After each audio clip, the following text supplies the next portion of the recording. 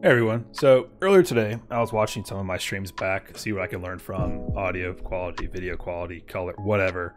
And I noticed my stream playback has black bars. Well, that's interesting because I stream from a 21 by 9 ratio, 3440 by 1440p monitor. Um, so yeah, again, supposed to be full screen here. You can see black bars. Thought that was weird.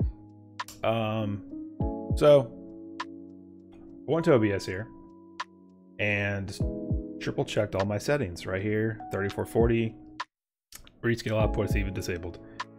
Video to canvas is the same output's the same everything looked fine.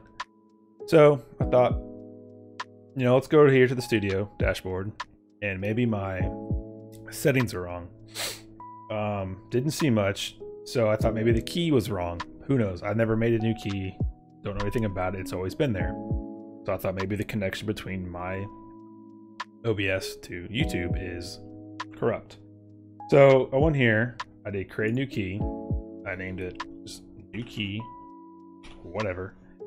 Turned on manual settings. oh, would you look at that?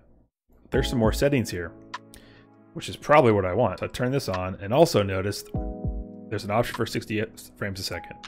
So now I'm wondering, have I been streaming in 30 frames and a bad resolution for ultra wide? So I went here and I click create. What you want to do now, let's do a new stream, create new, test, next, next. We'll go private, just us. And let's choose the new key. All right, pull down OBS here.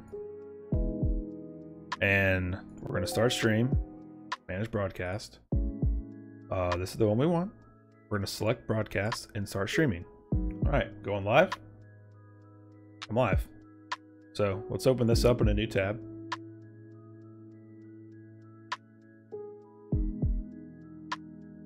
All right, there you go.